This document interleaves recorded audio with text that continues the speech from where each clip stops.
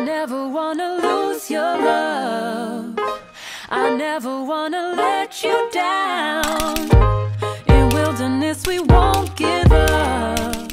This lecture is the first of our unit on fields.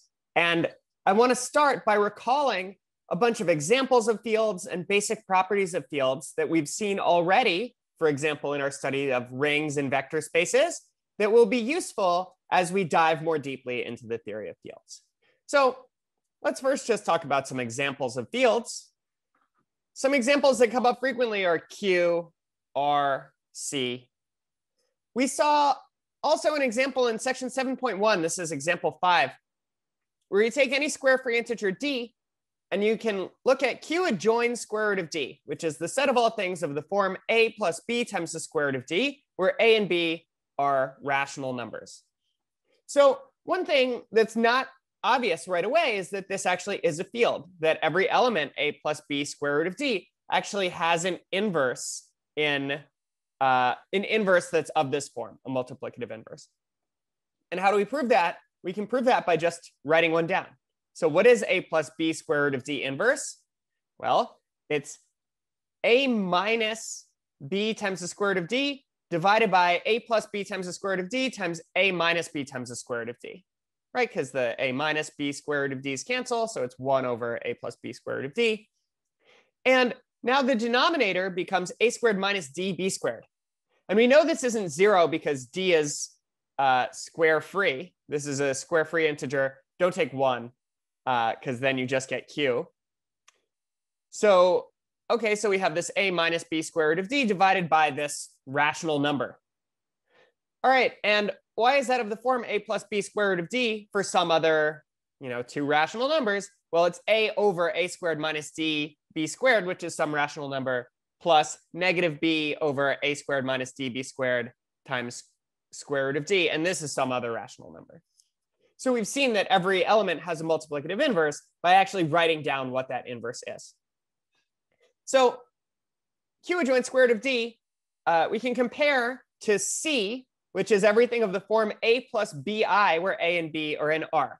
So it looks kind of similar. It's like uh, you have some special element here, square root of D. Here it's I, the square root of negative one. And you're taking all linear combinations of one and that one special element where your coefficients are in your original field, either Q or R. So what I want to emphasize is C, thought of in this way, looks a lot like R adjoin I in analogy with this construction here, A plus BI, where A and B are in R. So I is not in R in the same way that square root of D is not in Q. So we're going to make this uh, sort of vague analogy more formal uh, coming up, especially in the next lecture. So what are other examples of fields that we've seen? Finite fields. Well, one finite field we've seen is Z mod PZ, which is a finite field of P elements, so we often write FP. But this isn't all of the ones we've seen. So one big idea is we're going to think about fields in terms of quotients of polynomial rings by maximal ideals. So we saw in section 9.5 in our study of polynomial rings that if f is a field and little f of x is a polynomial in f bracket x, then the quotient of f of x by the ideal generated by this polynomial little f is a field if and only if f of x is irreducible. The key thing is that f bracket x is a Euclidean domain. It's a PID. Uh, irreducible elements are prime and prime ideals are maximal. All right, so what else do we know about this quotient? Well, uh, f bracket x is a vector space over f. The ideal generated by f of x is also a vector space over F. This quotient vector space is also a vector space over F. And the dimension is equal to the degree of this polynomial F. Let's call that N.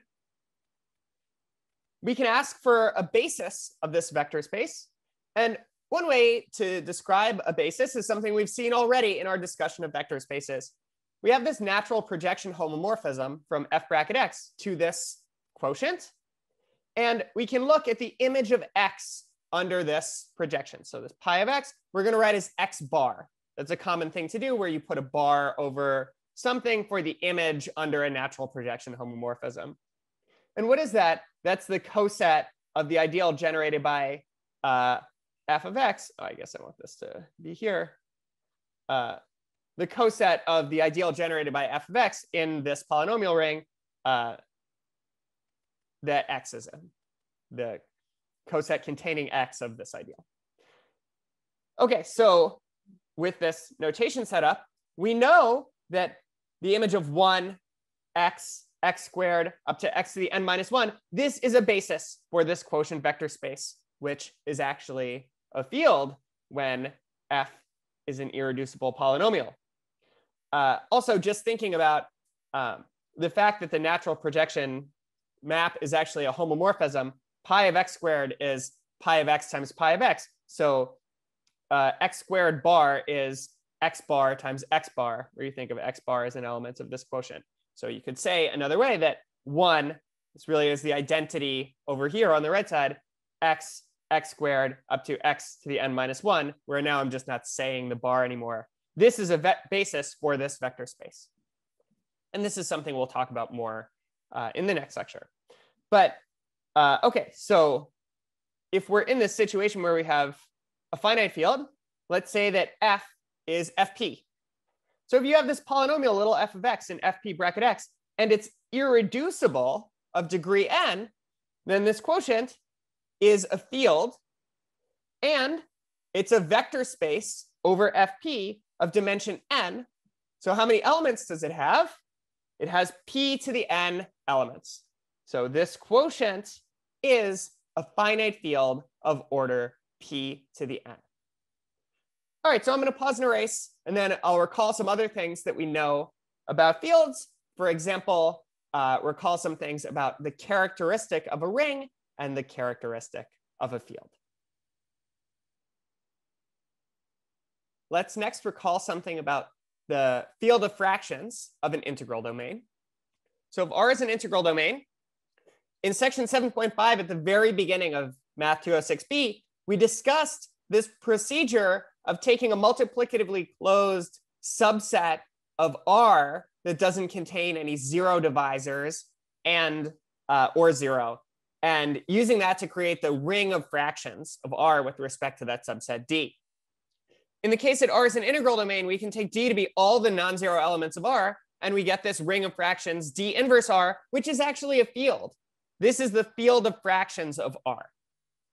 What do the elements look like? They're equivalence classes of pairs R comma D, where R is in the ring and D is in this multiplicatively closed subset uh, D, which in this case is just all the non-zero elements of R. So this is something we discussed following uh, theorem 15 in section 7.5, which was the big theorem of this section. One example that we talked about a little bit was when you take R to be the polynomial ring f bracket x, where f is a field. So you do this process, and what is the field of fractions? You get f adjoin x, the field of rational functions in x over the field f. And what do the elements look like? They look like quotients of polynomials, p of x, q of x, where q of x has to be non-zero. So this is a kind of example that we'll talk about in our discussion of fields. So I wanted to recall the basic construction. So now I want to recall something else that we talked about uh, in the first homework assignment of Math 206B. So this is exercise 26 of section 7.3, Math 206B homework one. This is something we solved. We define the characteristic of a ring R to be the smallest positive integer n such that you take the multiplicative identity, you add it to itself n times, and you get zero in R. Okay, so this uh, definition supposes that R is a ring with a multiplicative identity. Let's assume that. Uh, okay, and what if no such positive integer exists? Then we say that the characteristic of R is zero. So just to give some basic examples, Z mod PZ has characteristic P. More generally, Z mod NZ has characteristic n, and so does z mod nz bracket x for any n. So you take any polynomial with coefficients in z mod nz, uh, or yeah, you take the identity in z mod nz bracket x, which is a polynomial of degree zero, one, you add it to itself n times and you get zero because that's how addition works in z mod nz. And some uh, examples with characteristic zero, Q, R, C. If you take one in any one of these fields and you add it to itself n times, you're never coming back around to get zero. Okay, so uh, this is this definition. Here are some examples. And one of the things you prove in this exercise is you have this map from Z to R defined by, let's send K to, if K is a positive integer, we'll take the identity of R and add it to itself K times. If K is zero, we send zero and Z to the zero element in R. And if K is a negative integer, we take uh, the negative, the in additive inverse of the identity in R, and we add that to itself K times. And you show that this is a ring homomorphism and that the kernel is NZ, where N is the characteristic of R.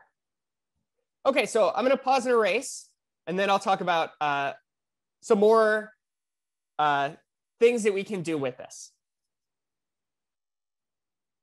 Another part of this exercise concerns the case where uh, P is prime and R has characteristic P. You show using the binomial theorem that A plus B to the P power is A to the P plus B to the P in R. And I'm not bringing this up now because we need it for our discussion of fields that's coming up, but this actually ends up being really useful on one of your problems on homework number two, where you uh, end up considering the factorization of some polynomial x to the p minus one in fp bracket x. And one little trick is to think of x to the p minus one as x to the p minus one to the p, or x to the p plus minus one to the p when uh, p is odd anyway. And you can write this now as x minus one to the p. Okay, so uh, building on that exercise from homework one of Math 206B, there's another exercise from homework one of Math 206B, number 28 in section 7.3 that was also, that we also did, which says that the characteristic of an integral domain R is either some prime P or is zero. And the idea is if you have two positive integers, A and B, A times B times one, so one added to itself, A times B times, where you add negative one instead if A times B is negative, is the product of A times one times B times one in this uh, ring R, just by the distributive property. So you can use this to see that um, in an integral domain where you don't have zero divisors, uh, the characteristic is either going to be prime or is zero. Okay, so you can see a full uh, proof of this in section 13.1, where proposition one says this specialized to the case of fields. So the characteristic of a field F denoted CHF is either a prime P or is zero. And it says a little more. It says in the case that the characteristic of f is prime, then for any alpha in f, if you take uh, p times alpha, which is, what does that mean? It's alpha plus alpha plus alpha plus alpha p times. Well, that's p times 1 times alpha, where this means 1 times alpha plus 1 times alpha p times, which is the integer p times 1 times alpha, which the integer p times 1 is uh, or sorry, this is, um, yeah, sorry. So I said this wrong. So this is p times alpha. It's alpha plus alpha plus alpha p times. This is p times one times alpha in f. So this is the identity in f. Uh, Dummit and Foote often write this one with a little sub f here. So it, it clarifies um, what exactly these things are. This is the multiplicative identity of f times alpha, right? That's just alpha. And uh, by the distributive property, this should be uh, P times one times F. So it's the multiplicative identity added to itself, P times, times alpha. This is some element of F. This is some element of F. And this element is zero because F has characteristic P. So this is zero times alpha, which is zero in F. So in conclusion, what I, I should have said, the quick thing to remember is just that you take any element alpha in F, you add it to itself p times, and you get zero, no matter what alpha you start with. So one other fact that I want to recall is that uh, the characteristic of an integral domain R is the same as the characteristic of its field of fractions. And uh, this is something that I'll leave you to think about the details of a formal proof. But the idea is just if you take some element R and you add it to itself a bunch of times, you can compare what happens when you take an element in the field of fractions, which is some fraction r over d, and you add it to itself a bunch of times. You have this common denominator, and you get r plus r plus r in the numerator here. So if you take uh, r equals one, and like that'll give you the um, the particular case here where you're seeing the characteristic and what is one in the field of fractions, you just take any element in D and you take the class D over D. So I'll let you think about uh, the details here, but in general, the characteristic of an integral domain is the same as the characteristic of its field of fractions. All right, so I'll pause and erase, and I'll just say a little more about the characteristic and mention one other exercise that we already solved in Math 206b. Let's now go back to this map from Z to our field F that we described earlier that we get by taking the integer n to n times the identity, multiplicative identity of F, where this is 1 plus 1 plus 1 n times, if n is positive, 0, or it's minus 1 plus minus 1 plus minus 1, uh, minus n times when n is negative. So this is a homomorphism, and we can take the quotient by the kernel. And the kernel we know is the ideal in Z generated by uh, the characteristic of F. This explains why we say characteristic zero, right? If the, the kernel is trivial, then it's generated by the ideal, or it's the ideal generated by the zero element. And now we can apply the first isomorphism theorem and see that the image is isomorphic to the quotient of z by this ideal generated by the kernel of f. And the image is a subring of uh, F. So what does that mean? Uh, F contains either a subfield isomorphic to FP in the case that the characteristic is a prime integer, or it contains a subring isomorphic to Z. So it either has uh, the image is a field in the case that uh, the characteristic of F is prime. So um, F contains this subfield isomorphic to FP, or when the kernel is trivial, the image of this map gives a subring isomorphic to Z inside of F. But F is a field. So if we have this subring inside of F, we also contain the subfield generated by that subring. So in the second case, it contains a subfield isomorphic to the field of fractions of Z, which is Q.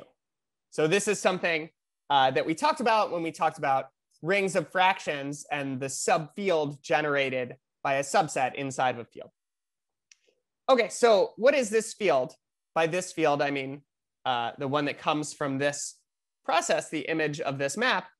Uh, well, it's uh, this field that's either FP in the first case when the characteristic is prime, or this copy of Q in the second case when the characteristic is zero. This is the small subfield of F containing the multiplicative identity of F.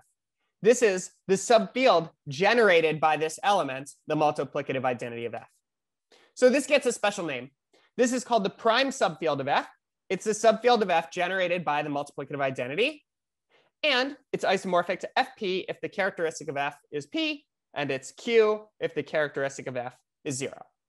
And this whole discussion is review. This is basically exercise three in section 7.5. It's almost exactly uh, this statement phrased in a slightly different way. And this was also on homework one of Math 206b. So in this first video, what have we done? We've recalled a bunch of things from Math 206b that uh, will be helpful in our study of fields.